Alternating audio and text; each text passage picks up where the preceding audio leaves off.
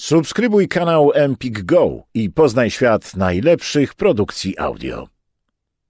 Biblioteka Akustyczna zaprasza do wysłuchania książki Joanny Jagiełło zatytułowanej Czekolada z Chili. Czyta Monika Chrzanowska. A może miłość nie musi być jak czekolada mleczna? Może miłość jest jak czekolada z Chili. Moim córkom, Julce i Basi. Prolog. W nocy wiał wiatr. Podrzucił z drzew przy sąsiedniej posesji czerwone i żółte liście, które upstrzyły huśtawkę niczym barwne kleksy. Zadzwoniła do drzwi, ale nikt nie otwierał. Postanowiła poczekać w ogrodzie, choć dobrze wiedziała, gdzie jest klucz. Huśtawka była mokra. Odkleiła od niej jeden liść i spojrzała na niego pod światło. Wprawdzie słońce ledwo przebijało się przez chmury, ale było wystarczająco silne, żeby podświetlone żyłki zaczęły jej przypominać a to sieć dróg, a to układ krwionośny, a to cały wszechświat. Rozbujała huśtawkę. Może to uspokoi bicie serca i pozwoli zmierzyć się z tym, co przecież miało nadejść, a na co już teraz nie miała żadnego wpływu. Zamknęła oczy, pozwalając ponieść się rytmowi. W górę i w dół, w górę i w dół. Raptem na jej twarz padł cień i prawie krzyknęła z przestrachu, ale to przecież był on, jego kochana twarz, która tuliła się miękko do jej policzka. I już ten niesłyszalny krzyk dusił w zarodku, całując ją w same usta, zamykając w uścisku wraz ze sznurami huśtawki i liściem, który nadal gniotła w dłoni. Dała się ponieść temu pocałunkowi. Było tak, jakby całował ją w samym środku jej samej, jakby w brzuchu uwolniła się cała gromada trzmieli, a ich skrzydełka drżały w nagle gorętszym słońcu. Osuwała się wtedy na jego ramię, pozwalając się całować, pozwalając gładzić po ramieniu, lekko brązowym od słońca i ciepłym. Wtedy, bo teraz nagle w pocałunku zaczęła czuć gorycz. Tam, gdzie jeszcze przed chwilą brzęczały słodkie trzmiele, zrobiło się teraz zimno i mokro. Poczuła wyraźnie, że siedzisko huśtawki jest wilgotne od deszczu, a ona sama tak zlodowaciała w środku, jakby już zaczęła zamarzać. Zadrżała. A potem mu powiedziała. Wargi ułożyły się w słowa, których wolałaby nie wypowiadać. Stał teraz o krok od niej i odchylił się, jakby zamierzał się cofnąć. A ona nadal lekko się bujała, choć wolałaby zamarznąć. Wolałaby, żeby to zimno, które czuła, zamieniło ją w bryłę lodu albo w kamień. Powoli otworzyła oczy. Wybaczysz mi? Zapytała. Ale on już odchodził. Nagle taki wyprostowany, taki wysoki i obcy, z liściem przyklejonym do kurtki. Wrzesień. Folder wysłane od Adrian do Linka. Hali, co tam u ciebie? Pewnie nie możesz się doczekać nowej szkoły. Jak wrócisz z rozpoczęcia, musisz mi wszystko napisać, kto jest twoim wychowawcą i w ogóle. Ja się trochę denerwuję. Zaczynamy myśleć, że może z tą zmianą szkoły to nie był dobry pomysł. Wolałbym być teraz tam, z tobą. Ech, gdyby nie to, że ciotka już wszystko załatwiła i głupio byłoby teraz zmienić zdanie. Wczoraj miałem pierwsze zajęcia z rysunku i w sumie to się załamałem. Mam wrażenie, że nie znam podstaw albo uczą tu zupełnie inaczej. W każdym razie wydaje mi się, że nic nie wiem. Może się dowiem, o ile zacznę lepiej rozumieć prowadzącego, bo to niestety szkot. Nie to, żebym miał coś przeciwko szkotom, ale ten akcent mnie dobija. Pozdrów wszystkich ode mnie i uważaj na siebie. Nieustająco. Buziaki? A. Linka otworzyła oczy. Miała złe przeczucie. Przez całe wakacje nie zdarzyło jej się obudzić wcześniej niż o dziewiątej. Trudno było wyczuć, która jest godzina, bo wczoraj zasunęła szczelnie zasłonę, żeby zrobić klimat. Wymacała więc komórkę na stołku obok i spojrzała w ekran. Szósta. Nic dziwnego, że w domu jest tak cicho, ani że budzik jeszcze nie zadzwonił. Odsłoniła okno i spojrzała na ulubiony dach kościoła, który połyskiwał w porannym słońcu. Zapowiadał się upalny dzień, następny z serii. Linka włączyła komputer i otworzyła swoją skrzynkę mailową. Tak jak się spodziewała, czekał na nią mail od Adriana. Nie wiadomo skąd wziął się ten zwyczaj, ale odkąd Adrian wyjechał do Londynu, zawsze pisał do niej późno w nocy, a ona rano czytała. Nawet jeśli siedzieli na czacie, to i tak pisał jeszcze coś potem na Gmaila. Od miesiąca właściwie codziennie. Hali. Zabawne. Halina dla koleżanek była Linką, a Adrian od czasu, gdy byli razem, próbował jej nadawać coraz to nowe imiona, jakby jedno jej nie wystarczało. Linek, Malinka, zaprotestowała przy misiaczku, ale Hali? Nawet fajnie. Szkoda, że kojarzyło jej się to z grą, którą Kai dostał na Dzień Dziecka. Kali Gali to nie była głupia gra. Uczyła liczyć na bananach i truskawkach. Miała jednak wadę. Do zestawu dołączony był dzwonek o upiornym dźwięku. Gdy na stole pojawiała się odpowiednia liczba owoców tego samego rodzaju, trzeba było jak najszybciej nacisnąć srebrny dzwonek. Wtedy zabierało się wszystkie karty. Kai jako siedmiolatek nie był jeszcze w liczeniu najlepszy, za to naciskanie dzwonka miał opanowane do perfekcji. Energiczne bank wwiercało się w jej mózg. Po każdej partyjce hali gali przez godzinę bolała ją głowa. Dobrze chociaż, że Kai był śpiochem i nigdy nie grał od rana. Na szczęście budziła ją cisza, a cisza jest piękna. Linka wstała i na bosaka poszła do kuchni.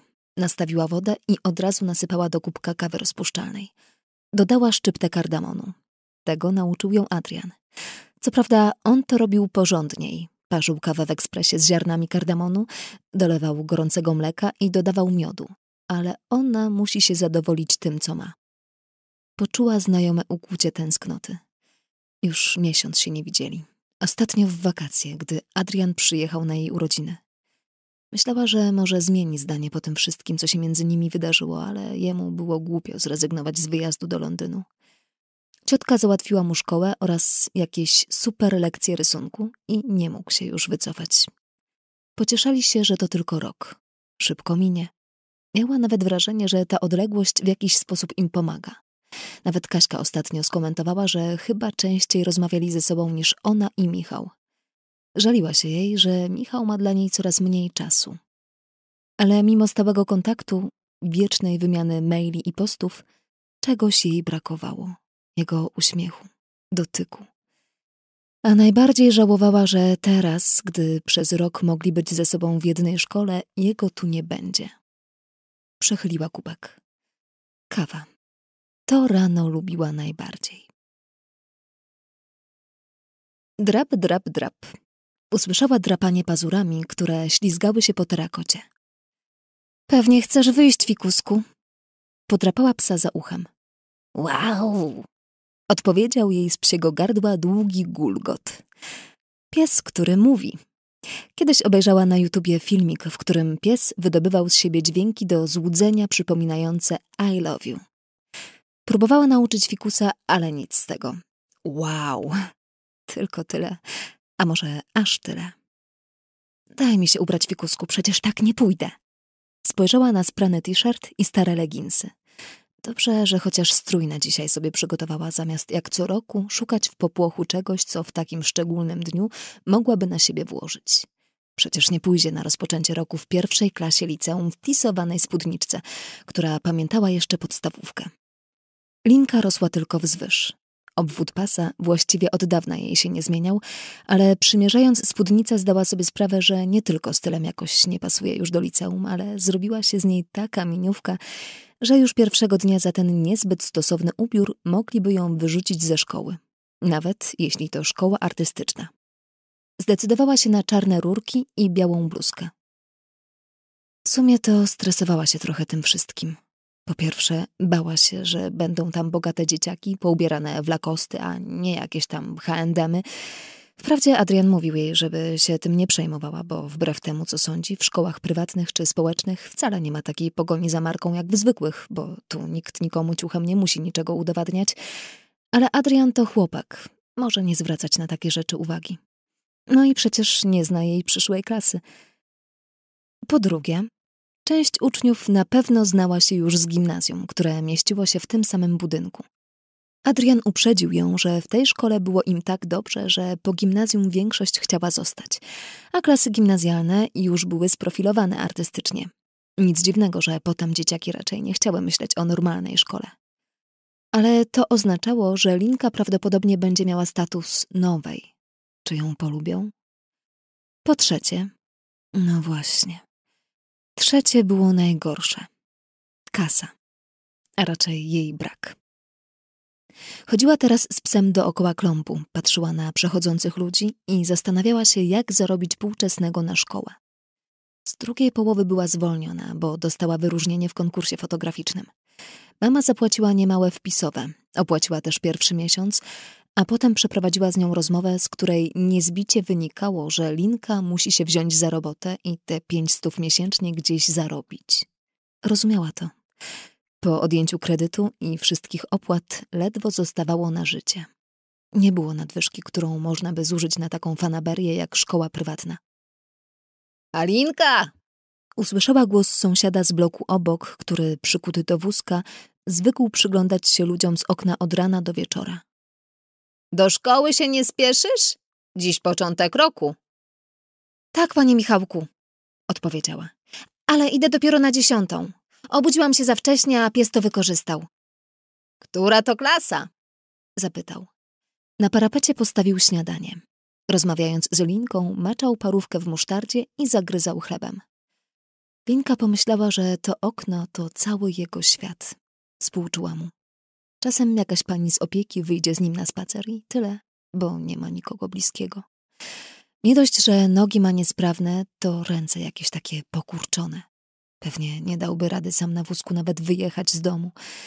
Dobrze chociaż, że herbatę może sobie zrobić i parówkę ugotować. Pierwsza. Gimnazjum? Nie, roześmiała się. Oczywiście, że nie. Liceum.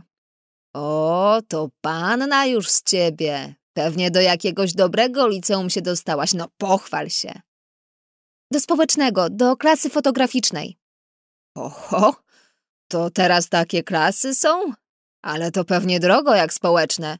Mama dostała podwyżkę chyba. Bo już ten twój tata, nie tata, to z wami nie mieszka, co? A może to z alimentów?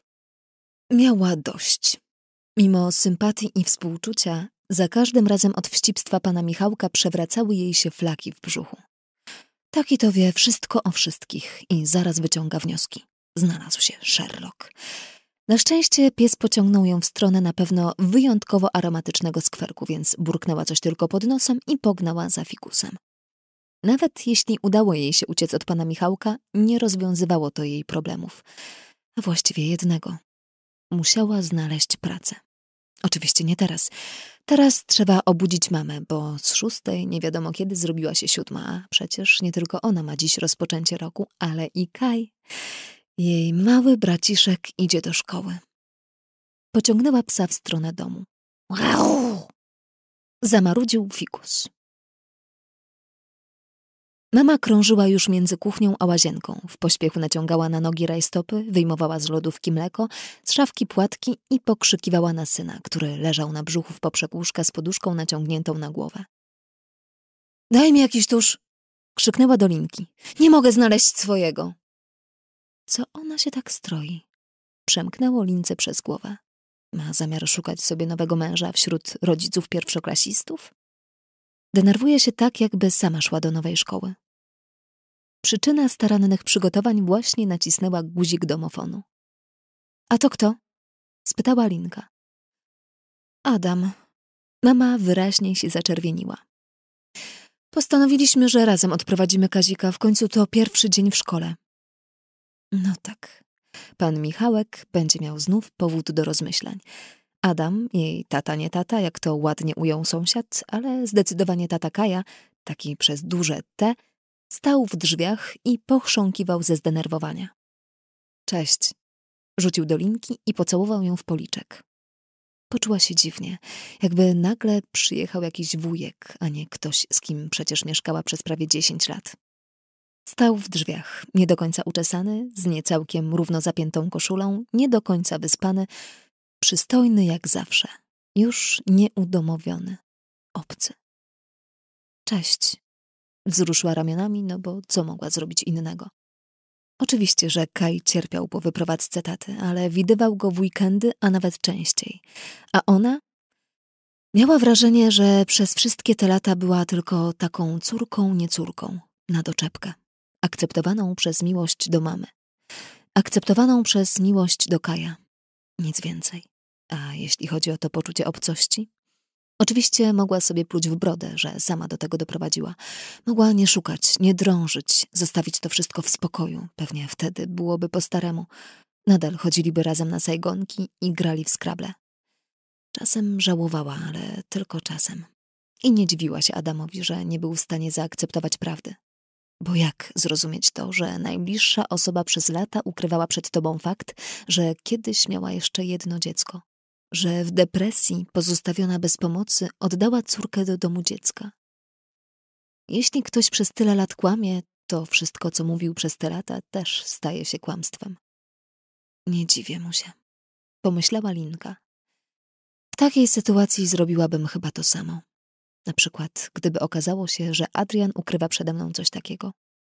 No ale to niemożliwe. Adrian jest zupełnie inny. Inny niż mama. Ona sama dawno mamie wybaczyła, ale relacje w małżeństwie to zupełnie inna para kaloszy.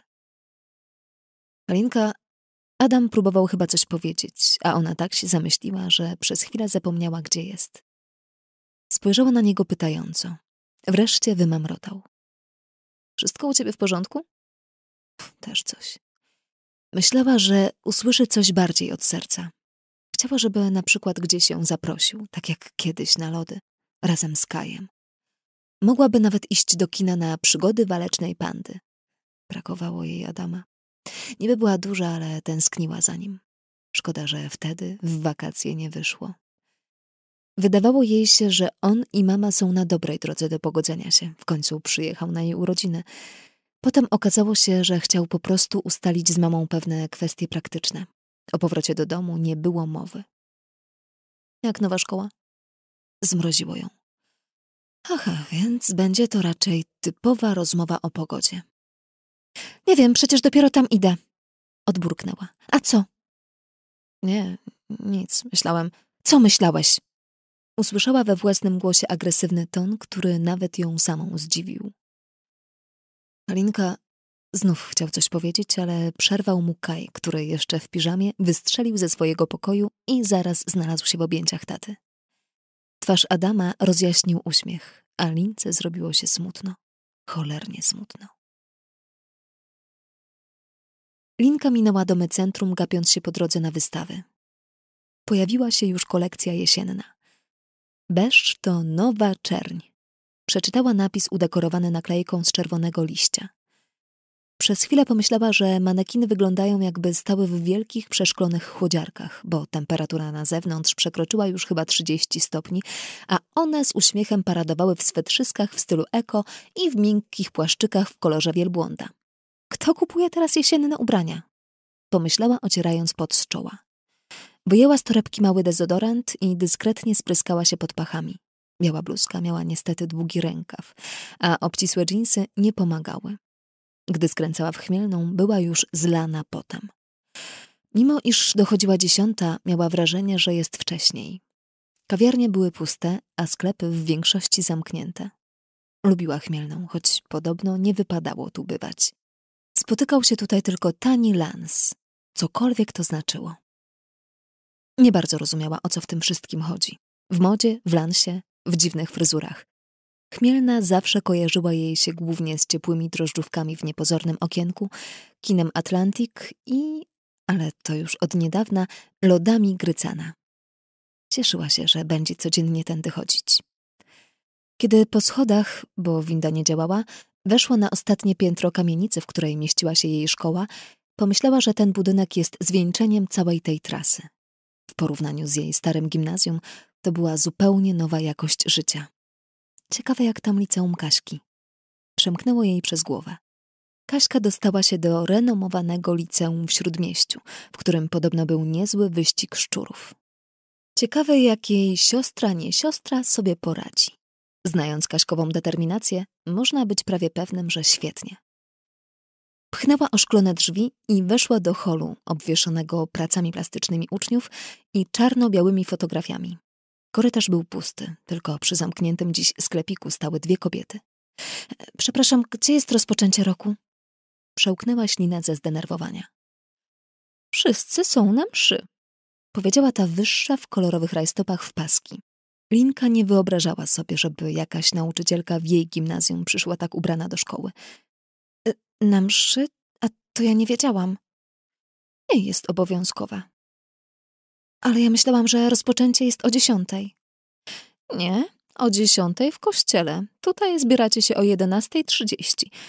Przecież poszły do was mailem zaproszenia. Spojrzała na nią podejrzliwie. Sama je zresztą wysyłałam. Nie dostałaś? Nie wiem, mama odebrała. Powiedziała mi, że na dziesiątą. Widzisz, Hanka, zwróciła się do koleżanki. To jest to, co nazywam wtórnym analfabetyzmem. Dostali, przeczytali, a i tak nikt nie zrozumiał. Założę się, że zaraz ktoś jeszcze przyjdzie. Linka już miała się obrazić, ale w tym momencie otworzyły się drzwi i wpadł zziajany chłopak. Myśli blondyn w okularach, niższy od niej chyba o głowę i ze dwa razy szerszy. Na pewno daleki od lansu z chmielnej. Zachichotała w duchu. Chłopak miał nie tylko najgrubsze okulary, jakie w życiu widziała, ale ewidentnie nie przejął się początkiem roku i chyba w ogóle nie bardzo przejmował się swoim imidżem. Miał na sobie dżinsy i zwykły chiński szary t-shirt. Całości dopełniały białe adidasy. Przepraszam, rozpoczęcie roku dla pierwszej liceum to gdzie? Wyrzucił z siebie z prędkością karabinu maszynowego. Mówiłam! Zachichotała kolorowa i powtórzyła gadkę o zaproszeniach. Chłopak był równie zbity z tropu co Linka. Stali teraz naprzeciwko siebie i żadne nie wiedziało, co powiedzieć. A wy oboje do pierwszej liceum, tak? Zlitowała się ta druga kobieta, ubrana z kolei na czarno. Synchronicznie skinęli głowami. No to idźcie sobie gdzieś na kole, czy jak, jeśli coś już jest otwarte. Przeszli się nowym światem i weszli do Starbucksa. Było otwarte. Linka cieszyła się, że w ogóle wzięła jakieś pieniądze. Inaczej byłoby jej głupio i musiałaby się wykręcać i kłamać. Choć oczywiście w jej sytuacji finansowej wydawanie 12 zeta na kawę latę to durny pomysł. Tym bardziej, że chłopak nie był specjalnie sympatyczny. Miał na imię Oskar. E, do jakiego chodziłeś gimnazjum? Spróbowała jakoś zacząć, bo rozmowa ewidentnie się nie kleiła. Nie w Warszawie. Rzucił, mieszając bez przekonania małe, czarne espresso bez mleka. Linka zastanawiała się, czy kupił taką kawę, bo była najtańsza, czy naprawdę lubi espresso. A gdzie? To mała miejscowość, nie będziesz wiedziała. Nad morzem. Nad morzem? Super! Poczuła podekscytowanie. Jak to jest mieszkać nad morzem? Pewnie tak, jakby człowiek cały czas był na wakacjach. Nie żartuj. Czasem przez cały rok ani razu nie byłem na plaży. No tak, od razu wiedziała, że to jakiś dziwak. Nasz dom jest dobre 10 kilometrów od morza. Trochę za daleko na piechotę, a nie zawsze było z kim się zabrać. Nie no, żartowałem. W wakacje zwykle jeździliśmy na rowerach się wykąpać, ale wiesz, w domu zawsze były jakieś obowiązki. Do gimnazjum też dojeżdżałem. To jak się tu znalazłeś? Lepiej nie pytaj. Wyobraź sobie, że nie wszyscy mają tak poukładane życie jak ty. Dobre sobie. Poukładane życie. Wyraźnie poruszyła w nim jakiś czuły punkt, choć przecież wcale nie miała takiego zamiaru. A on nie miał pojęcia, do kogo mówi. Zmrużyła oczy ze złości. No dobra, jak nie, to nie. Wybrałeś klasę artystyczną? Miała nadzieję, że tak i że nie będzie musiała codziennie oglądać jego obrażonej gęby. Nie, fotograficzną. A ty? Ja niestety też. No to się nie polubiliśmy. Stwierdził lakonicznie, po czym dopił swoją kawę i wstał. Do zobaczenia za chwilę. Rzucił jeszcze przez drzwi. Co ja mu zrobiłam? Nie miała pojęcia. Ładnie się zaczyna. Jeszcze nie było rozpoczęcia roku, a już zdążyłam się z kimś pokłócić. Poczuła, że zaraz się rozpłacze, ale zacisnęła zęby, wypiła pozostały na dnie papierowego kubka słodki osad, pooglądała sobie jeszcze kawy ziarniste z Gwatemali oraz Mozambiku i wyszła na rozgrzany słońcem nowy świat. Denerwuje mnie ta laska, pomyślał Oskar, przyglądając się lince z boku.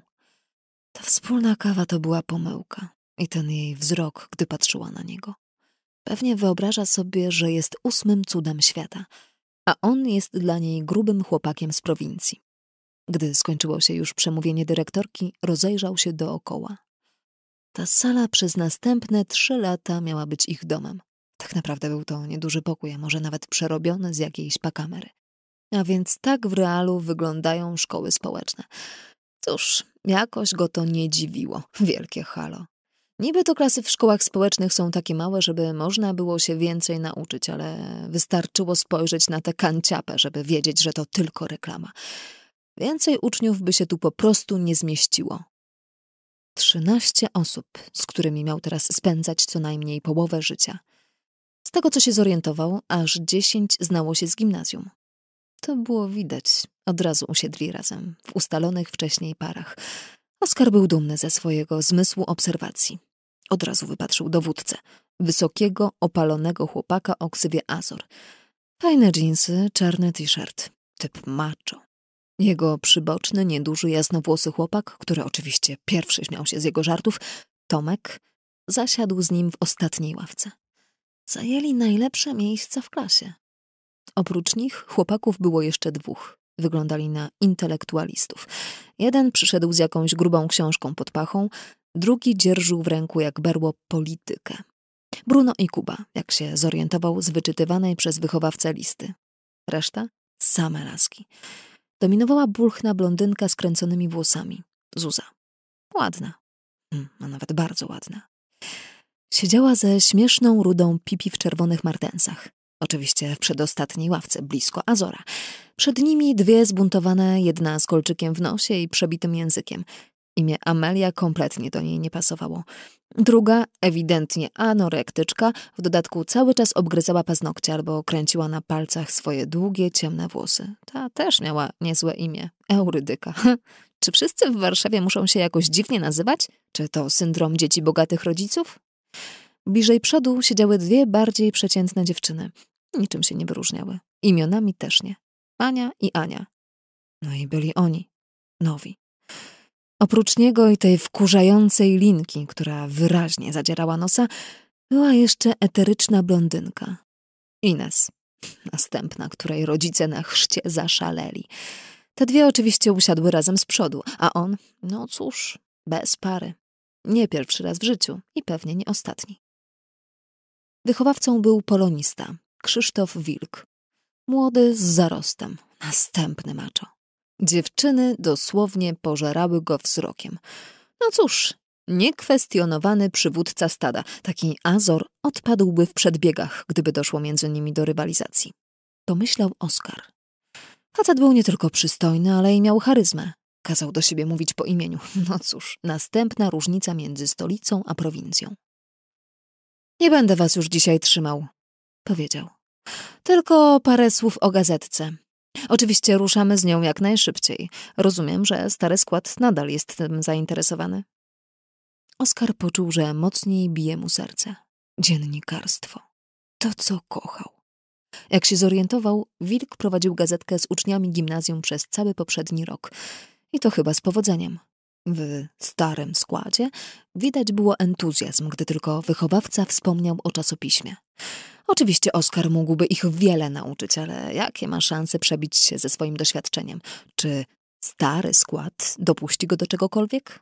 Szczerze w to wątpił.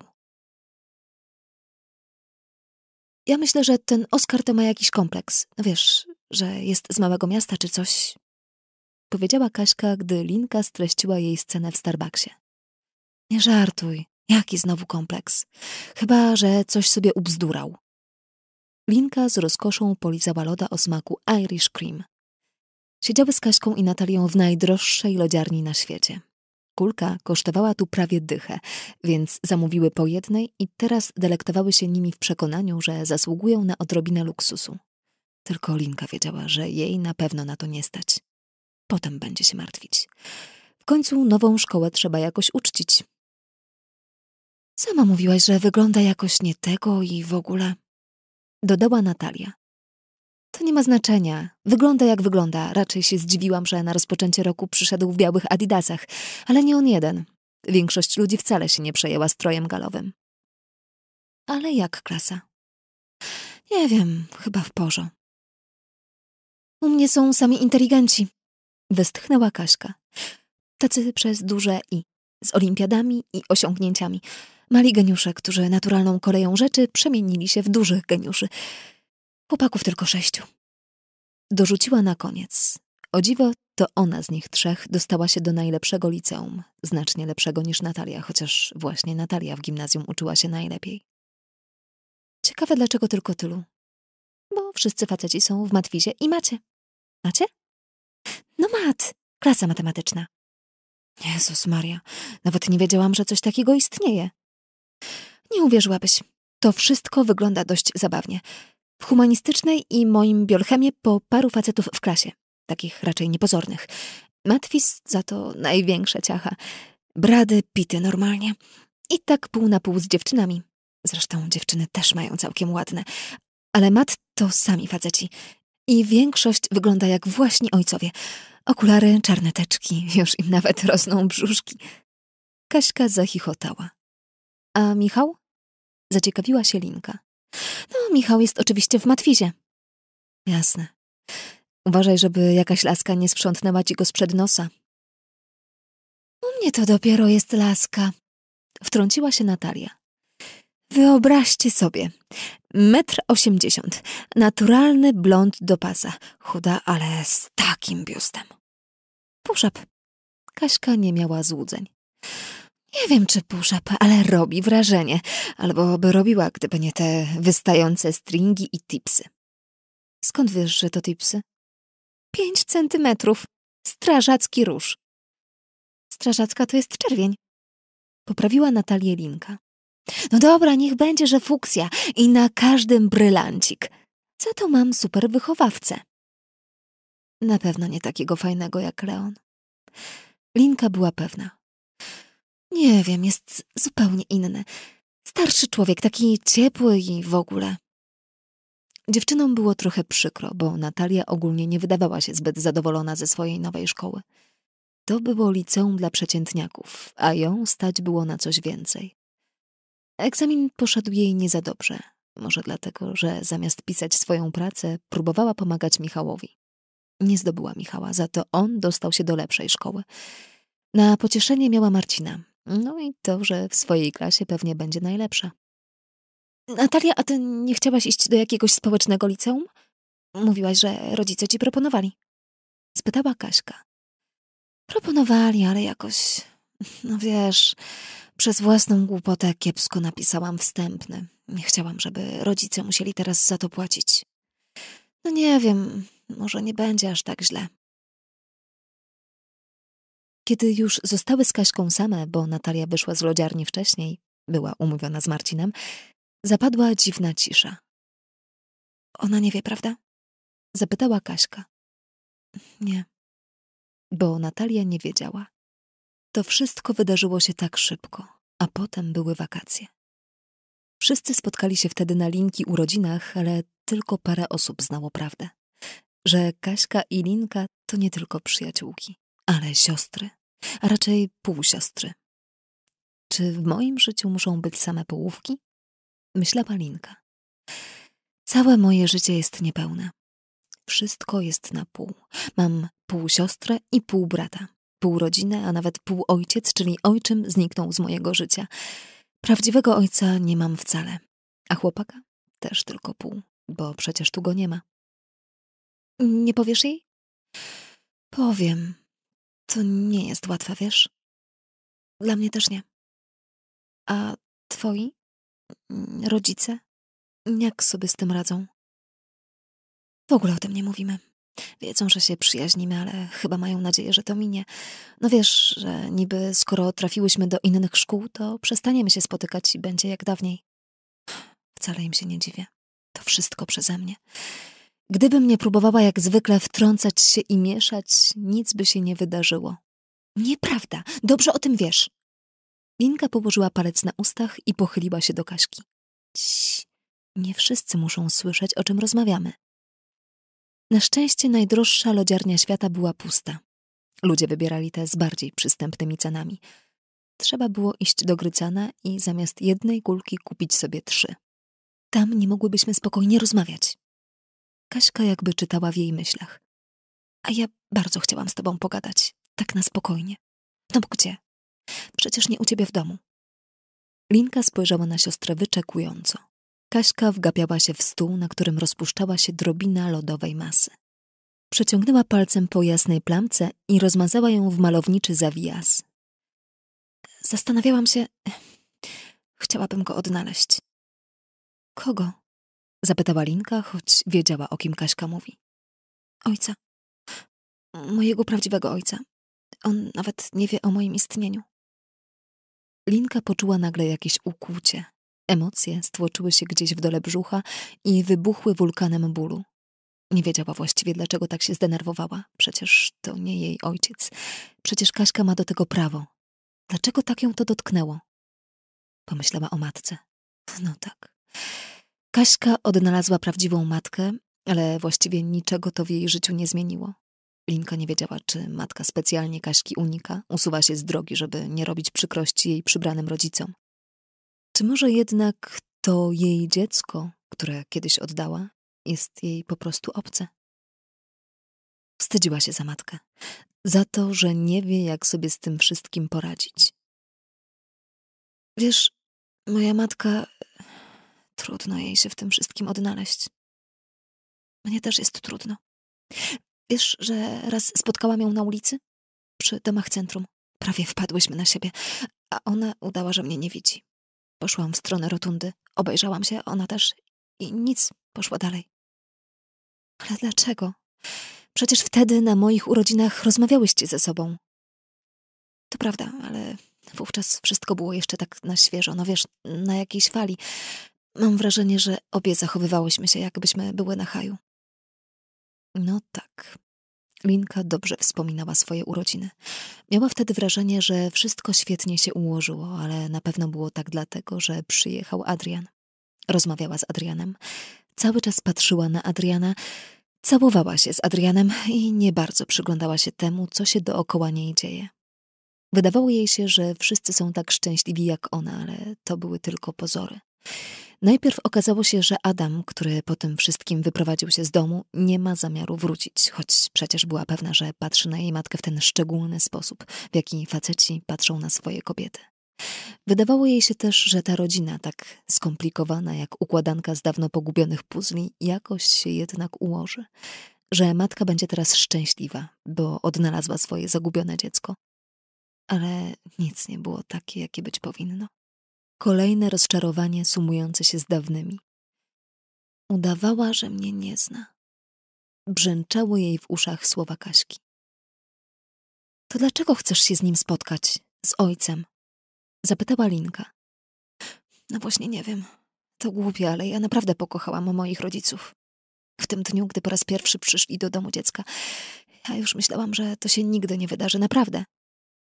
Smuga ze śmietankowej masy wyschła i Kaśka zanurzyła palec w pustym pucharku. Nabrała trochę roztopionej masy i zaczęła rysować następne esy floresy. Potem, gdy po mnie przyjechali, mówiła zamyślona. Gdy zrozumiałam, że to wszystko dzieje się naprawdę, pokochałam ich jak nikogo w życiu. Zresztą mam w nich też przyjaciół. Jest mi przykro, że twoja matka tak się zachowuje. Ona inaczej nie umie. Powiedziała cicho Linka. Twoja matka? Moja czy nasza? Ale to nie jest dla mnie koniec świata. Powiedziała Kaśka. Ja mam rodziców. To po co chcesz go odnaleźć? Linka zapytała ponownie. Po tym, co się stało, czasem myślała, że może najlepiej byłoby pewnych spraw nie ruszać. Kaśka wzruszyła ramionami. Jasne, lodowe mazaje pokrywały już cały stolik. Wytarła ręce w spodnie. Nie mam pojęcia. Pewnie głupio robię, ale jestem ciekawa. Chciałabym chociaż zobaczyć go z daleka. Pomożesz mi? Nawet jeśli Linka nie miała na to ochoty, i tak musiała się zgodzić. Była to Kaśce winna. Potaknęła. I jeszcze jedno chciałam ci powiedzieć. Kaśka spojrzała jej teraz prosto w oczy. Linka się wystraszyła. Wstydziła się. Za matkę, za siebie, za cały ten świat, który do tego doprowadził. Pamiętasz, jak przyszłam do szkoły? Byłam nowa, wyśmiewali się ze mnie i nikt nawet ze mną nie rozmawiał? Ty pierwsza do mnie podeszłaś. Myślałam, że wszyscy wiedzą, że jestem z Bidula i to dlatego. Nie wiedzieli. Teraz wiem, że nie. Ale wtedy byłam załamana. Sądziłam, że to się będzie za mną ciągnąć przez całą szkołę, rozumiesz? Że nigdy mnie nie zaakceptują, a ty podeszłaś, choć przecież nie mogłaś przypuszczać. Nie mogłam. No właśnie. Proszę, obiecaj mi, że nic nie stanie nigdy między nami. Cóż, może nie zaprzyjaźnię się z twoją matką. Twoją? Twoją, naszą, wszystko jedno. Może nigdy już z nią nie zamienię słowa, ale chciałabym, żebyśmy my zawsze były razem. Hej, przestań, co jest? Linka nie mogła powstrzymać płaczu. Łzy padały na śmietankowe esy Flores do jej pustego już pucharka po lodach za dekolt. Kaśka pochyliła się w jej stronę, przewracając pucharek. Ostatnio, wychlipiała Linka. Ostatnio tak płakałam na królu lwie, jak miałam pięć lat. Kaśka mocno przytuliła Linkę. Nie wstyd ci, żeby młodsza siostra musiała cię pocieszać? To ty powinnaś mi wycierać smarki. Wiesz co? Linka wydmuchała nos w serwetkę z logiem lodziarni. Już nie jedna, ale trzy kelnerki zaczęły im się bardzo podejrzliwie przyglądać. No, spadamy stąd, zanim nas wyrzucą. Ale znów zaczęła chlipać. Kaśka pociągnęła ją za rękę. Bardzo panią przepraszam, powiedziała do kelnerki. E, siostrę rzucił chłopak i bardzo to przeżywa, biedaczka. Kelnerka spojrzała na Linkę współczująco i westchnęła. Aj, rozumiem to doskonale. Sama kiedyś przez to przeszłam. A potem wzięła dwa wafelki i nałożyła im po jeszcze jednej kulce lodów. Sernikowe, powiedziała. Leczą zbolałą duszę. Jak mnie zostawił narzeczony, to tylko te lody trzymały mnie przy życiu. No, zjedz sobie i weź się w garść. Weź się w garść. To teraz powinna być moja maksyma. Pomyślała Linka.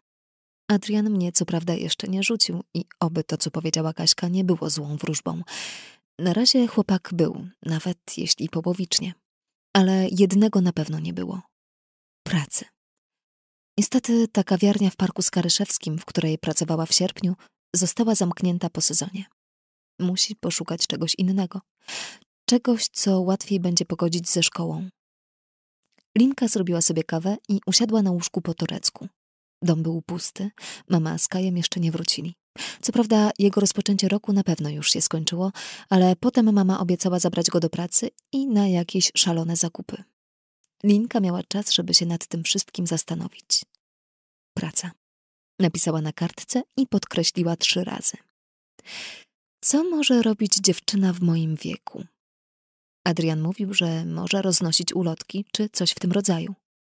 Ulotki. Napisała i zaczęła malować po kartce. Zawsze, gdy nad czymś rozmyślała, spod jej palców wyłaniały się dziwne, mroczne twarze kobiet o długich rzęsach i podkrążonych oczach, które zamiast rąk miały czarne tulipany. Wkrótce słowo ulotki otoczone było plątaniną postaci i roślinności, a że na więcej notatek miejsca na kartce nie było, Linka z westchnieniem wstała i włączyła komputer. Wpisała w wyszukiwarkę praca tymczasowa dla nastolatek. Pojawiło się tysiąc stron. Weszła na pierwszą lepszą.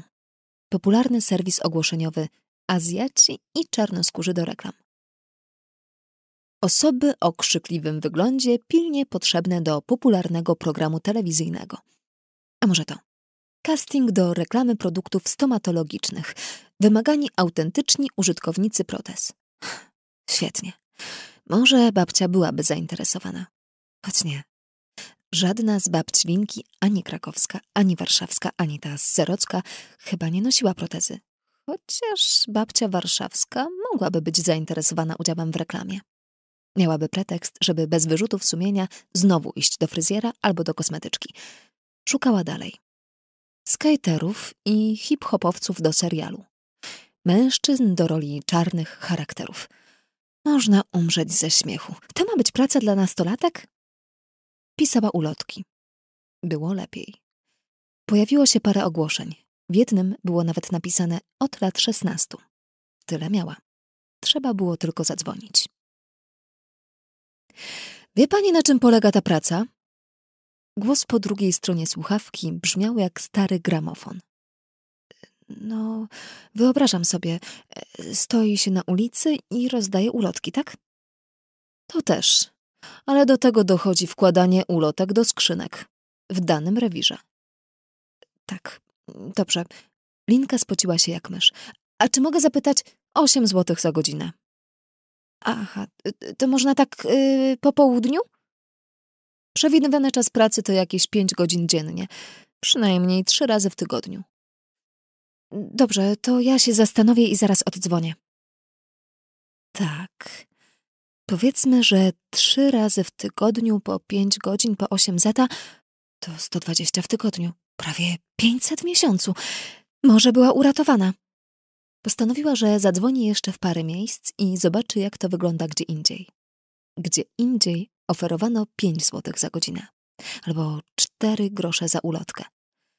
Nawet przy jej słabych zdolnościach matematycznych obliczyła, że aby zarobić 40 złotych, musi rozdać tysiąc ulotek, czyli żeby zarobić na szkołę, powinna rozdać pewnie z 15 tysięcy. Już sobie wyobrażała, jak idzie z wielką walizką pełną papieru nowym światem, wyjmując z niej całe opakowania, całe ryzy kolorowych karteczek, które potem wciska przechodniom. Dziewczynka z ulotkami. Zadzwoniła pod pierwszy numer i umówiła się na następny dzień. Była tak wyczerpana, jak po godzinnej grze w koszykówkę, choć przecież jeszcze nie zarobiła ani grosza. Myślała, że może położy się z książką, ale zadzwoniła komórka. Musiała natychmiast jechać do Smyka. Kaj był nieszczęśliwy, że na zakupy szkolne mają pojechać bez niej. Szlochał w słuchawkę. Ja nie chcę bez ciebie! Ja chcę, żebyś mi pomagała wybierać! No cóż, tak to jest, jak się ma dobry kontakt z młodszym rodzeństwem. Z westchnieniem zwlekła się z łóżka. Pomyślała, że mamę też może na coś naciągnie. Po tym szukaniu pracy musiała sobie poprawić humor. Poza tym naprawdę nie miała z czym iść do szkoły. No prawie. Miała piękny aparat fotograficzny, ale za to ani jednego zeszytu. Jak co roku czuła, że kupowanie jej przyborów mama uważa za fanaberię. Co innego Kaj. On dopiero szedł do szkoły. Miał prawo wybierać i przebierać. Dobrze, że przynajmniej on. Linka pamiętała jeszcze swoje pierwsze szkolne zakupy. Podekscytowanie, które przeżywała, gdy koszyk wypełniał się zeszytami, farbami i kredkami. Wszystko zostało potem zapakowane do niebieskiego plecaka, na którym pasły się dwie krowy. Teraz żadne dziecko nie chciało plecaka z krową.